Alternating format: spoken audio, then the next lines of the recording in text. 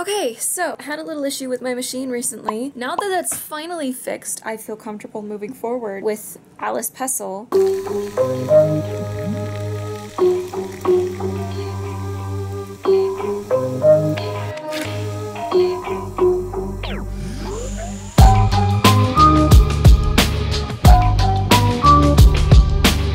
Most of these things are fairly simple. Honestly, I think the most difficult piece is going to be the bodice. But we're not doing the bodice right now. We are doing her shift. And y'all will have already seen me pattern it. So now that I have the shift pattern done, I can cut it in muslin and sew it up and see how well it fits so that I can make whatever necessary adjustments I need. Let's roll out some muslin and get this pattern cut, shall we?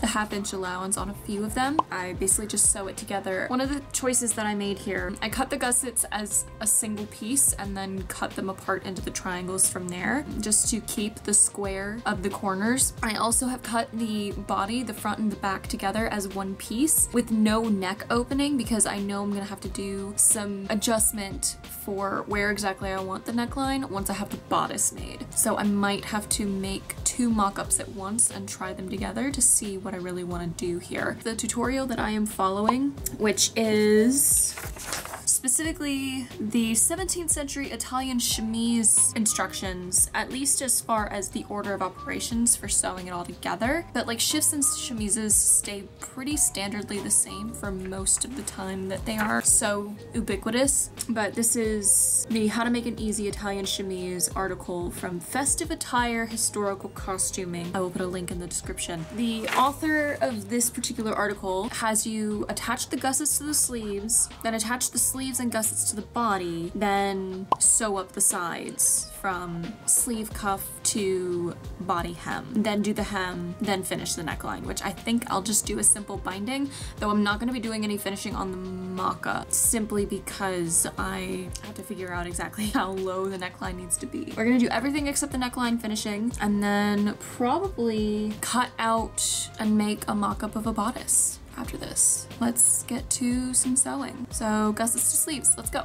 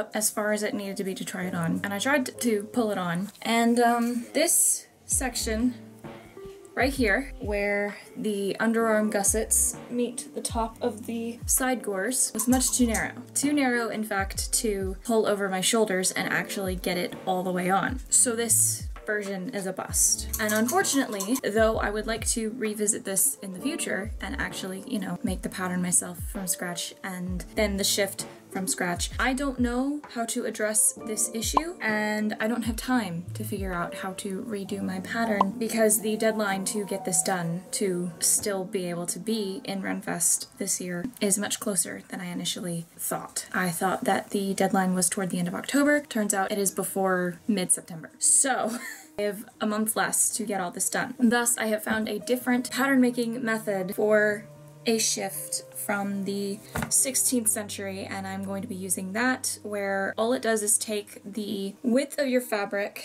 and you cut it in half and that is your loom width. That is the width of the main body pieces, front and back, as well as the width of the sleeves. And from there you plug in the length that you need from neck to right about the middle of your shin and the length of your arm from your shoulder point to your wrist over your bent elbow and then a 10 inch by 10 inch gusset just like I did so I could reuse that and then um, a strip to bind the neckline. So that is what I'm going to be following and I I will probably make another mock-up, though my muslin is narrower than the linen I'm going to be using, so we will see how well that works. In the meantime, uh, while I wait for the linen, I am also going to be working on mock-ups for everything else because I'm to have to knock out as many kinks as possible before the linen gets here. I am using commercial patterns for basically all of these pieces because again, I don't have time to draft the patterns myself, play with some mock-ups to get the fit just right, and then make the final garment. I am planning on revisiting this in the future to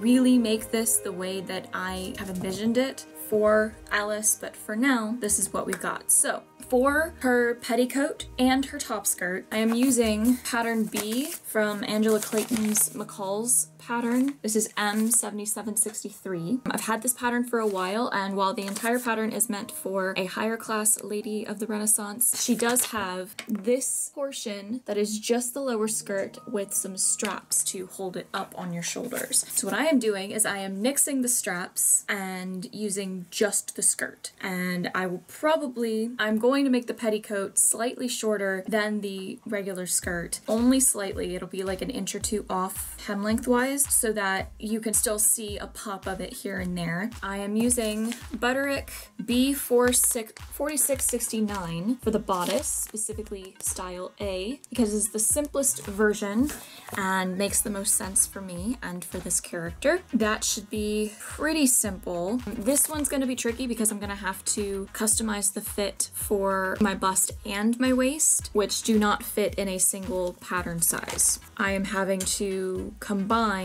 the 14 and the 18 together. But it shouldn't be too difficult because those are not too terribly far. There's one size in between them, obviously, if you can do math. The only really tricky part is going to be figuring out boning because I would like this to be a bit more structured. I have wooden boning, so I'm hoping that I can work boning channels into the bodice along the seams and have that provide a little bit extra structure. I may also put, I'll probably also put some boning right inside the eyelets for the lacing. In fact, I may sandwich the eyelets between bones. And then I'm also making an apron for Alyce because she's an apothecary. She works with a lot of things and it gets messy and she wants to have, she doesn't want to have to launder her skirts quite as often, so she needs an apron. So I have another Butterick pattern, 5509, which is all aprons. And I am again using style A. It is the simplest one. It makes the most sense for the period. This one's gonna be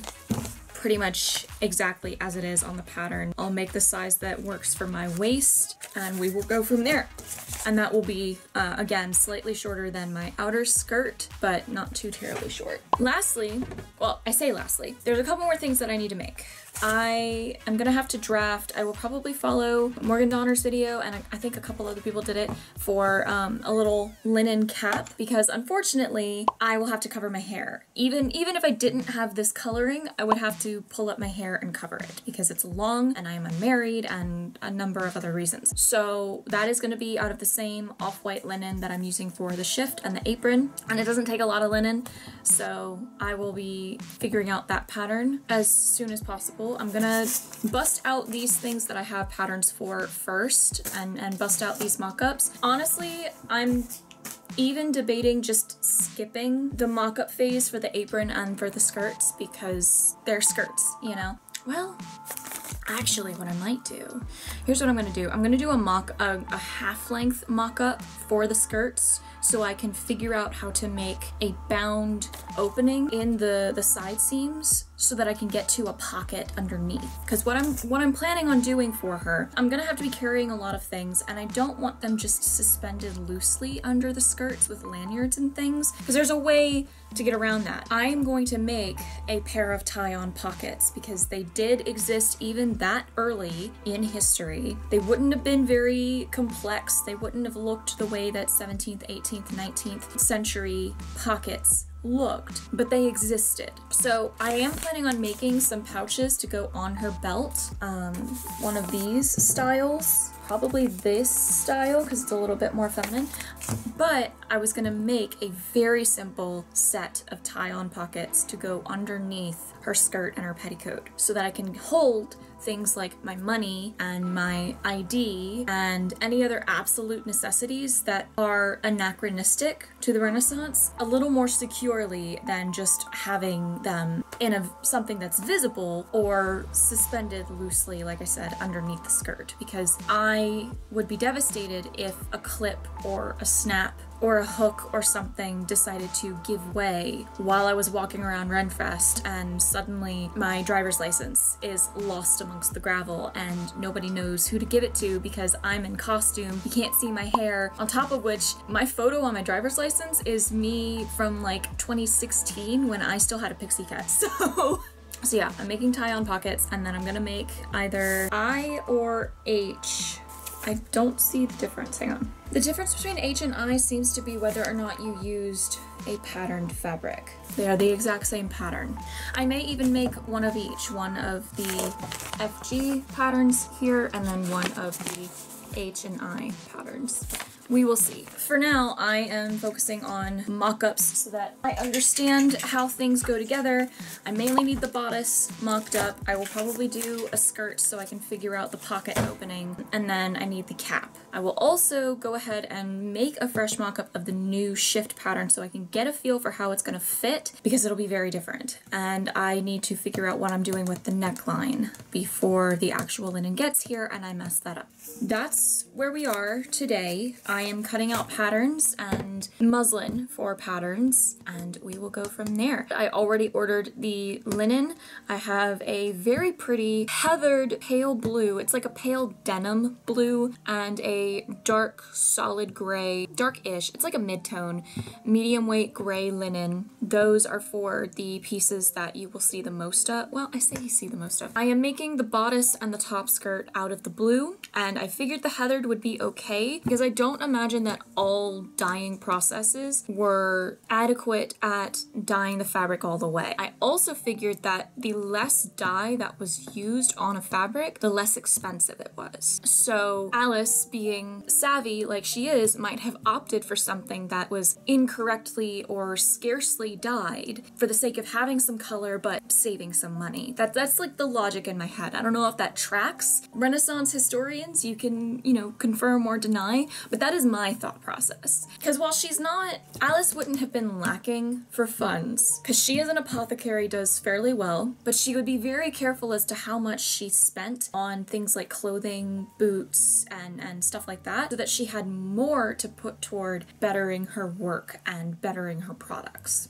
That's the thought process. So she'd use whatever she could find for her clothing. I went with gray because I thought that that would pair fairly nicely with the blue. And it's not solid black, it's not just plain old white. Gray to me comes across more colorful. It also makes a bit more sense because a true deep black would have been harder to achieve and thus would have been more expensive. So I'm making her petticoat and the cloak that she will wear when it's colder, especially when December rolls around, uh, those are going to be out of that gray linen. As for the cloak, I am reusing a pattern that I've used before, Simplicity 5794, specifically Cloak C because it is the simplest one. Because B has a long point on the hood and A has this shoulder cape extra piece. I don't want or need any of that. I'm doing C and I'm oversizing the hood. That's my plan there. That's what I've got in that regard. And then I'm using the same off-white shift linen from Burnley and Trowbridge for the shift, the apron, and the cap. All that said, now that I've explained everything three times, let's start cutting out patterns. Now I've gotten all of the patterns picked out and cut out, at least as far as picking out the pieces that I needed from the envelopes. I've pulled up Morgan Donner's video about making her St. Brigitte coif based on an extant garment, and it seems to have been a fairly common style of cap. So we're just gonna go with that one.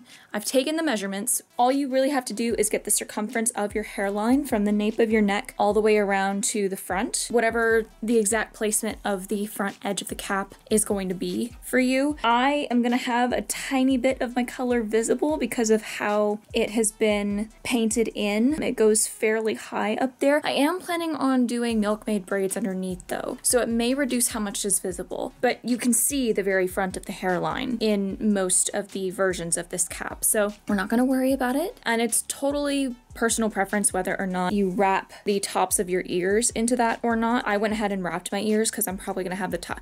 I don't like the look of my ears sticking out, so I am gonna keep those wrapped. The other measurement that you need is from the center front of your hairline straight back down to the nape of your neck. And she adds about an inch and a half for the fullness of her hair when it is pinned up. I have also done that because even though my fullness is going to be up top from the two braids, I still want to be sure it's going to fit over that. So I took those two measurements and I followed her drafting. I used the straight edge of a leftover bit of butcher paper, measured up half of the circumference measurement minus one because there's a bit of gathering. And then from the corner from the corner where that measurement meets the edge I curved my measuring tape down so that the curve itself measures 14 and a half. So this is what I have so far. It's not the cleanest curve. I will clean that up when it gets cut but this is pretty much the pattern for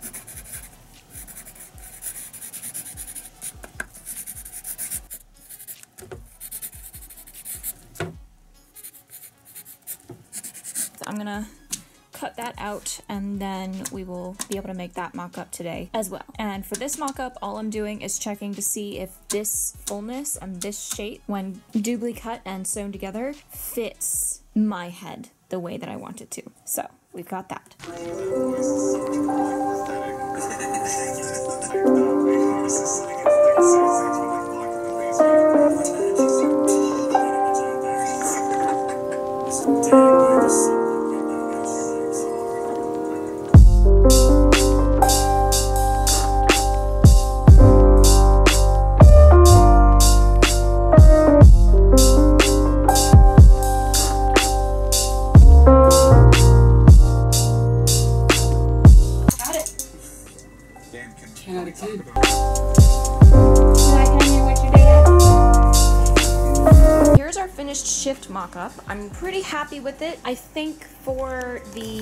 Final version that I'm making out of the linen, I'm going to gather this a little bit tighter because the back is sitting lower than I anticipated. And for some reason, it's not quite wanting to. Now, mind you, my dress form is smaller than me, so it probably will fit differently on me, especially once I have, you know, all the other garments on here that are providing structure and forcing it to sit a certain way. But here we are. I tried to leave the gathering a little bit looser in the sleeve, um, so it wasn't too snug, but maybe I will have to gather that completely down. We will see. But yeah, I'm really happy with how it turned out. I gathered down the cuffs as well to fit right about at my forearm just below my elbow so that I'll be able to put pull up the cuffs of the sleeves to get them out of the way, and that way it'll hoof this up a bit more and make a really nice effect, especially with the finished linen, because that's gonna be much more light and it'll flow and move a lot more attractively than this very cheap muslin does. But yeah, shift mock-up number two was a roaring success. So now we are going to move on to the cap, the pocket, the skirt, and the cloak hood because those are all the things that I need to check. I'm not. I should probably explain. I've decided that I'm not going to make a mock-up of, hello, that's a better angle. I decided I'm not going to make a mock-up of the apron because it's not necessary. I'm only making mock-ups of the pieces that I absolutely need and then for the pocket just to make sure I'm happy with the size and have the gist of how it should be made figured out. I'm also making a very short version of the skirt for the mock-up. I only have it coming down to about here so that I can figure out the placement and the method for binding the part of the side side seam that I leave open to get to the pockets underneath the skirt. So also so I can check how much I have to gather it down to actually fit my waist. Because the copy of the pattern that I have doesn't actually have the size that I need for my waist, so I had to estimate and we're gonna go from there. It's a three panel skirt though, so it should be okay. But yeah, let's uh, let's knock out these other mock-ups, shall we? Because my linen should all be getting here today.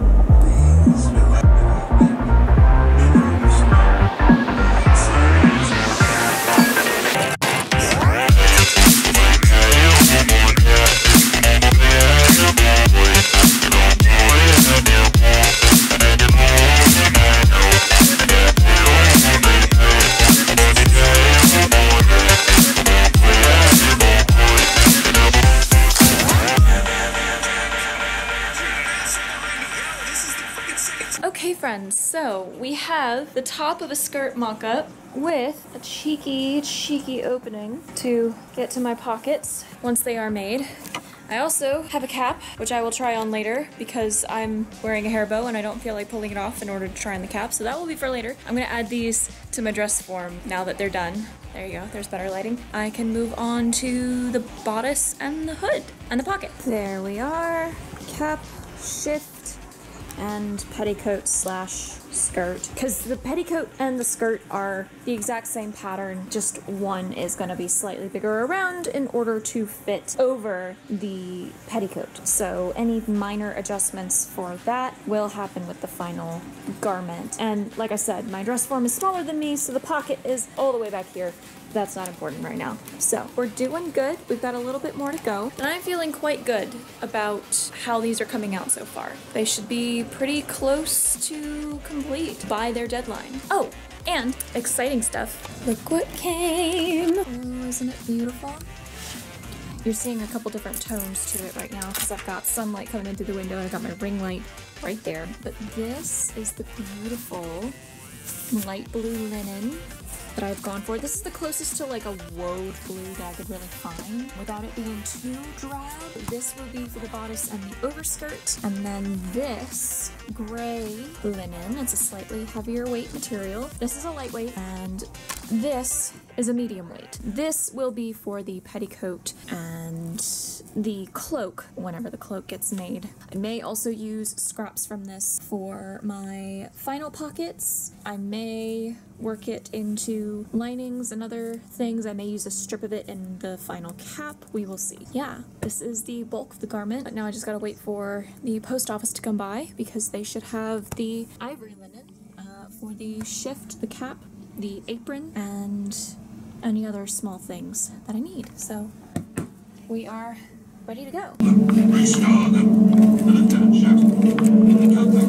Okay friends, all of my mock-ups are done. I'm gonna try on in just a moment the shift and the bodice together to see where the bodice comes on me because I can't exactly try it on over a normal bra because I'm potentially not going to be wearing a normal bra, seeing as bras weren't a thing. So I might wear pasties just to be safe, but like I'm probably just gonna be wearing the shift and then this isn't gonna be a single layer, this is actually gonna be three layers. The the heavyweight interfacing and then the outer material. Plus, it'll have, you know, the boning channels along the seams and then two on each side of the front opening. So that'll help to make it tighter and make it open a bit wider. But I just want to see how it's going to fit on me as opposed to the form because I am not sized like the form. But we've got a hood, we've got a bodice, we've got a shift, we've got a long enough skirt to figure out pocket openings, and there's a cheeky pocket in there. I'm gonna have to reconfigure that opening just a smidge. I had a half inch space around the pocket slit, but I think what I'm actually gonna do is like an eighth of an inch or a quarter inch so that this is not quite so wide, and I need to add an extra half inch at least at the top because the top of the pocket opening is at the top of the pocket, like right up at the edge, and that's not what I want. But I'm pretty happy with how this looks alone. Just like imagine this bit of skirt all the way down. There is, like I said, gonna be an apron as well, but I don't have that made in mock-up form because I didn't feel like it was necessary. An apron is an apron, and an apron is not